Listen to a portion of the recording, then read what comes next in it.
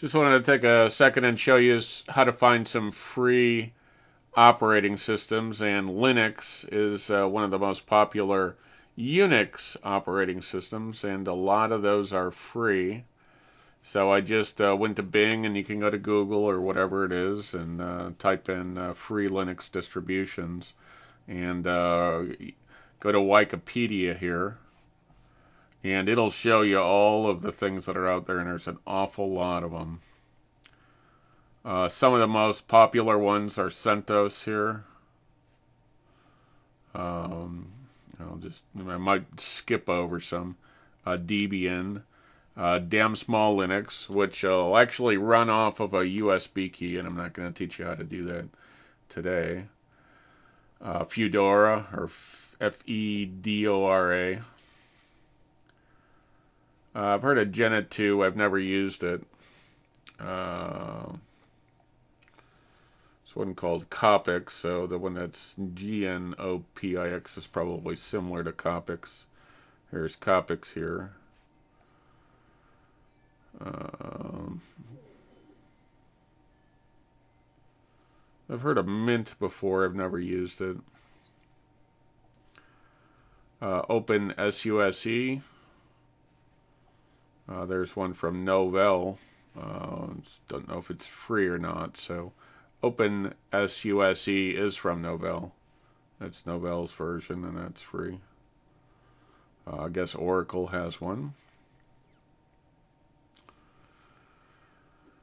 Uh, there's Red Hat Linux, which is a, a, Linux company that actually makes a version of Linux and then they support it and uh, I, if you were using it for your business and you wanted support, I'd recommend using Red Hat Linux.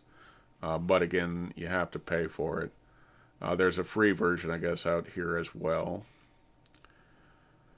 Um, I've heard of Slackware before. There's uh, SUSE again. Uh, Ubuntu, if I'm pronouncing it correctly, might not be. U B U N T U. Uh, I think I've heard of Xandros, but um, so, anyways, there's an awful lot of things that are out there that are free, and this is a great place to find them. So, if we want to. Uh, Let's get CentOS, which is pretty much like um, Red Hat Enterprise, but again, it's a free version of it. And uh, let's just scroll up the screen here. Uh, there it is, CentOS. And if I click on this, it'll go to the Wikipedia page. And then if I scroll down through this, I choose CentOS.org here and that'll take me to the website and then I can go to downloads. And what I'd want to look for is I want to look for the uh, this shows me the uh, this shows me the computers that host this and I can download it. So again choose one that's kind of in your area and choose one that you would trust so let's see if there's anything here that we recognize. I'm here in the Chicagoland area.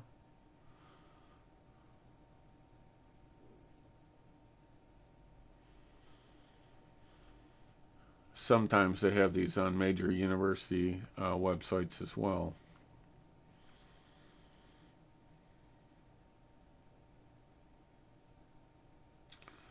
And I don't really see anything, but I did go through it kind of quickly.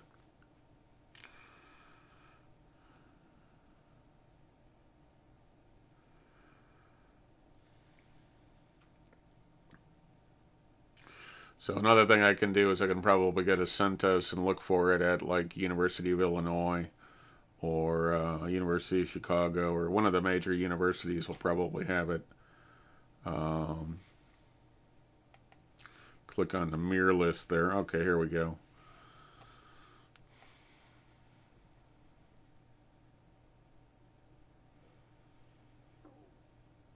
Uh, Indiana University.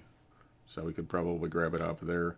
Michigan State, Michigan Tech, uh, some of the uh, University of Michigan.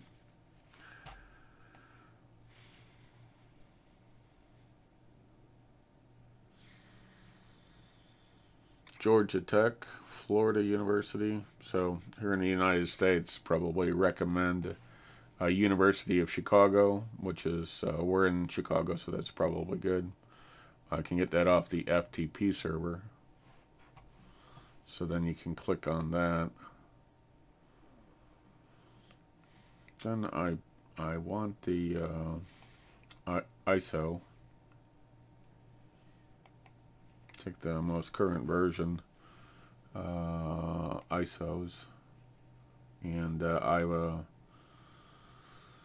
mm, i386 and then here's how I could download the ISO again you might want to read the readme file and it'll explain um,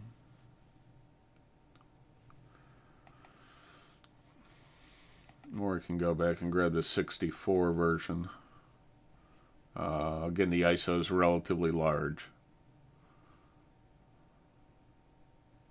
So it's uh, a very large download but you can click on this and then download it from uh, University of Chicago if you live in the Chicagoland area. And uh, looks like there's two DVDs. There's this one here, and then there's another DVD.